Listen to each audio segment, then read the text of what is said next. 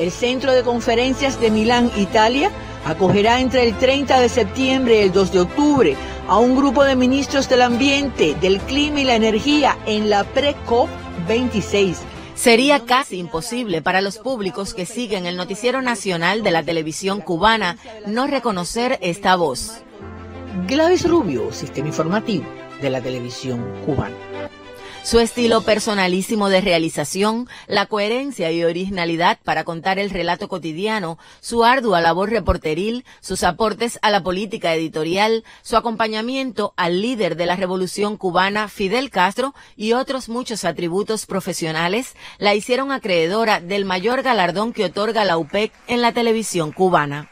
La periodista Gladys Rubio fue reconocida con el premio Roberto Agudo por la obra de la vida varios premios 26 de julio, el Premio Internacional de Periodismo Jorge Ricardo Massetti, el Premio Nacional de Medio Ambiente, el Premio Pequeña Pantalla, las medallas Felipe Poy y Raúl Gómez García, la medalla por el aniversario 50 de la Academia de Ciencias de Cuba, constituyen algunos de los reconocimientos que le han sido conferidos. Desde la delegación ramal de la organización que agrupa a los periodistas de los canales nacionales de la televisión, le fue reconocida la obra a esta colega incansable con 50 años de vida profesional. Yo agradezco mucho a Roberto Agudo que me enseñó a caminar por esa, por esa vía. ¿eh? Yo soy una periodista que ha pasado de analógica a digital pero el analógico es continuidad y, eso se necesita, continuidad en la manera de decir, la manera de ser el mensaje.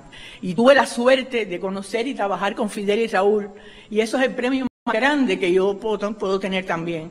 También, o sea, que, que yo agradezco mucho este premio a los compañeros que me lo dieron y le agradezco a los camarógrafos y a los editores que sin ellos no somos nada.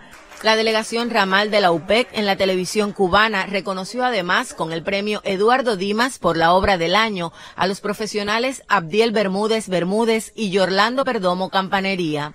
Bermúdez destacó en 2022 por la calidad extraordinaria de sus productos audiovisuales, la variedad de géneros empleados para reflejar asuntos de sensible impacto para la sociedad, en los cuales demostró sus cualidades como comunicador.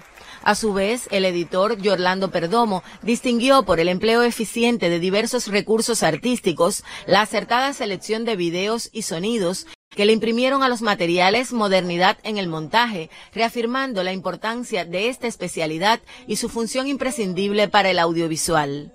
La actividad de homenaje fue amenizada por la cantante Yudenia Manso, quien dedicó sus temas a los profesionales que con pasión entregan todo a la pequeña pantalla. Lisette Márquez, Canal Cubano de Noticias.